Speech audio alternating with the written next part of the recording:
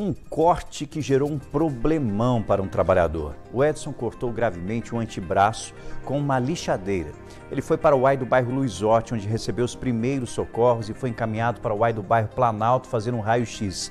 Lá, juntaram a pele com alguns pontos e mandaram ele de volta para o bairro Luizote. Lá fizeram encaminhamento para fazer uma tenoplastia ou um enxerto de tendão único no Hospital Municipal e ele aguarda para ser chamado, porém está com dor, com medo de sofrer mais complicações, preocupado porque ele quer voltar à rotina, voltar ao trabalho.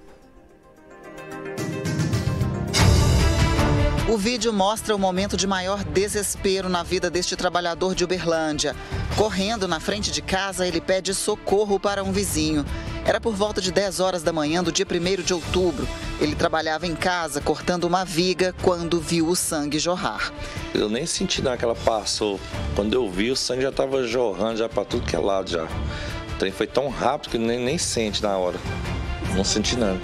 Tava cortando, fui cortar uma madeira que passou pro lado do vizinho ali. Na hora que, que eu trisquei ela na madeira, golpeou e subiu no meu braço. Eu nem senti, tô olhando, tentando desligar a lixadeira e correu, o braço já tava sangue já escorrendo para tudo que é lado já. Eu saí na rua, que minha esposa não dirige carro, saí na rua gritando socorro ali, o vizinho saiu lá na parte de baixo ali, eu já pedi para ele, pega meu carro ali e me leva, aí não deu tempo nem de pegar meu carro, já foi no carro dele mesmo e já me socorreu lá pro ar do Lisote, graças a Deus.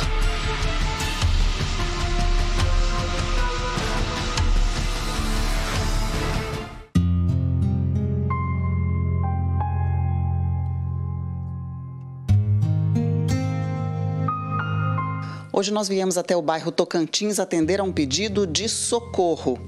Um paciente atendido na rede municipal aqui de Uberlândia está questionando até o atendimento porque ele sofreu uma lesão muito grave. A gente nem consegue mostrar essa lesão no antebraço dele sem borrar a imagem de tão chocante que é esse ferimento.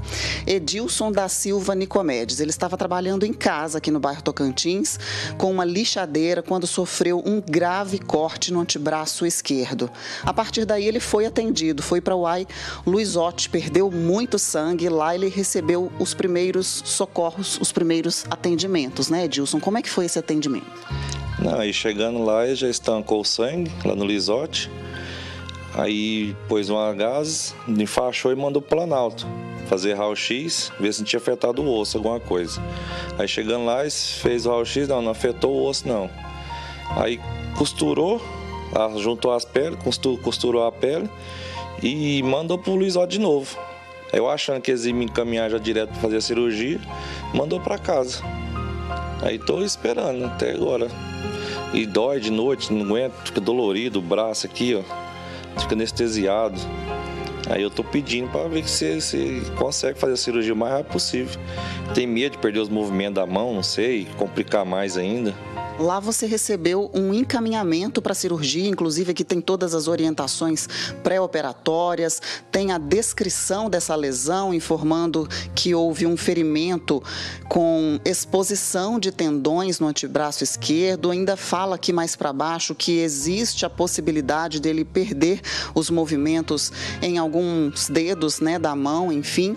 E tudo isso mostra e demonstra a urgência desse atendimento, né? E o seu medo é justamente que que haja complicações. Então, aí se pegar uma infecção, aí pode complicar mais, que aí não pode fazer enquanto não resolver, vai só demorando. Aí meu medo é de perder os movimentos dos dedos, né? Aí fui no Ministério Público, falou, não, aqui não adianta, tem que ir lá na Defensoria Pública. Fui lá, mas depende de um papel do AI para saber se eu estou inscrito na fila lá ou não, para me retornar lá de novo. Aí fica assim, empurra, empurra, vai para um lado, vai para o outro, e eu fico aqui sem saber o que fazer. Minha preocupação, tem medo desse trem de parar de, de mexer os dedos. A gente está aqui com a Eliane também, que é irmã dele, e ela vem acompanhando todo esse desenrolar, porque mais de 10 dias já se passaram desde o dia da lesão, e aí vocês têm uma preocupação muito grande com o tipo de atendimento não ter sido encaminhado direto para a cirurgia, é isso? Sim, e outra coisa, ele trabalha, o trabalho dele é à mão todo momento.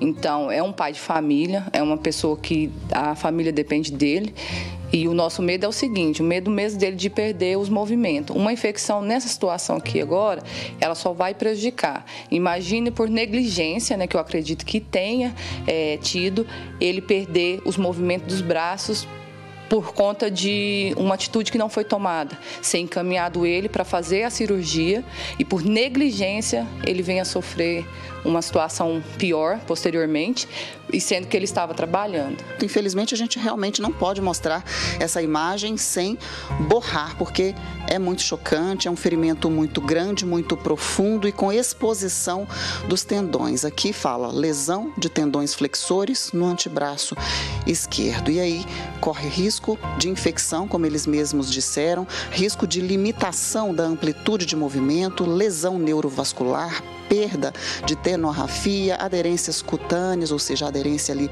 da pele, retração cicatricial, ou seja, pode dar problema também no processo de cicatrização, isso tudo porque pode ser que esse tendão é, acabe atrofiando, né? É uma das possibilidades, então, caso essa cirurgia não seja feita com urgência. É esse o pedido, para que seja atendido o mais rápido possível. Isso. Peço aí que vocês ajudem a gente aí, porque tá fácil não. Até para dormir de noite dói demais, queima. É complicado. Peço ajuda aí para nós fazer a cirurgia o mais rápido possível.